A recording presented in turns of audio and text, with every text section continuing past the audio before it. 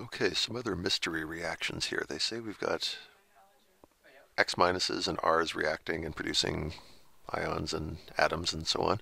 And it generates a voltage of 1.20 volts. We'll probably need that in a minute. Okay. One of the reactions here is 2x minus turns into 2x. That's interesting because that's exactly what we have up here. 2x minus turns into 2x right there. And that produced negative 0.80 volts. 2x plus 2 electrons, negative 0.80 volts. So that's half of our story. The other half is we have R turning into R2 minus.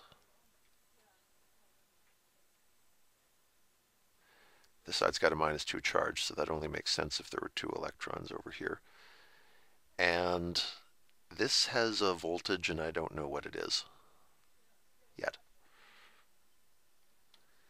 But they tell us that the grand total of these generated a voltage of 1.20 volts.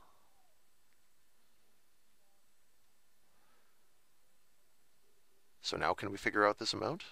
If we do unknown amount plus negative 0.80 equals 1.20, add 0.80 to each side, x must be exactly 2 volts.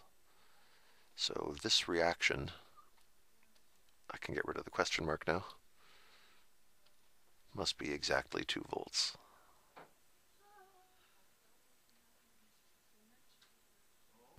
Is that an element that actually exists? I don't think there is anything at exactly 2.